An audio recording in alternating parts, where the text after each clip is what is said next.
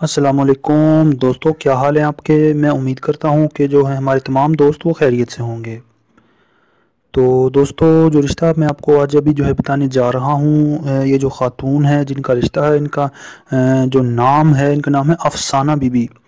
तो अफसाना जो है, हमारी बहन, इनकी उम्र जो है वो है चालीस बरस, फोर्टी ईयर्स।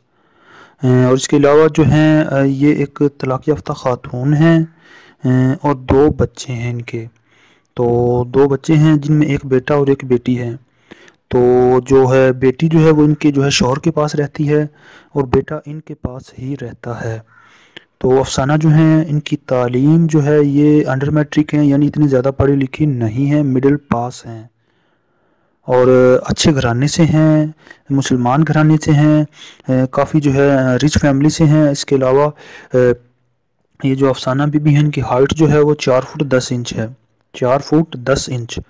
तो इस वक्त जो है ये अफसाना भी लाहौर सिटी में रहती हैं अपने जो इनके भाई हैं मोहम्मद मुश्ताक साहब उनके जो है साथ उनके घर पे रहती हैं क्योंकि वालदेन का जो है वो इंतकाल हो गया है।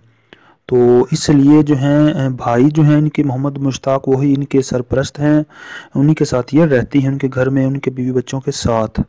तीन बहन भाई थे ये, तीनों शादीशुदा हैं। तो इनके जो भाई हैं, वो चाहते हैं कि अपनी बहन की वो दोबारा से शादी कर दें। तो इसी सिलसिले में उनको जो है किसी ऐसे रिश्ते की ज़रूरत है कि लड़का जो हो उसकी उम्र पचास साल तक हो, पहली, दूसरी या तीसरी शादी करना चाहता हो मुसलमान हो, फ़िरका जो है सुन्नी हो। इसके अलावा ज़ात बरदरी कोई भी हो, पाकिस्तान का शहरी हो, वो इनसे रबता कर सकते हैं। वैसे ये जो फैमिली है, अफसाना जो है, इनकी जो कास्ट है, ये आरई फैमिली है ये।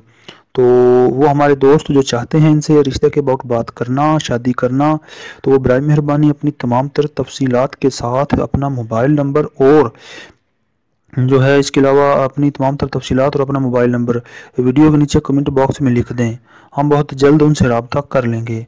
अगर आपके नसीब में हुआ तो ये रिश्ता ज़रूर आप लोगों के लिए खुशियाँ लेकर आएगा।